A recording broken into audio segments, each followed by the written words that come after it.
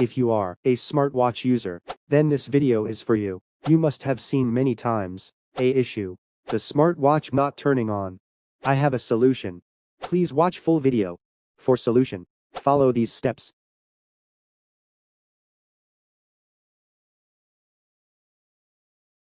We share this file link in pin comment.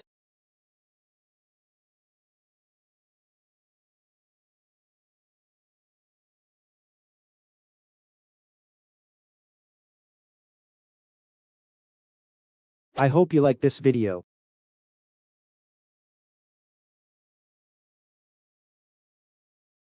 Don't forget to subscribe this channel.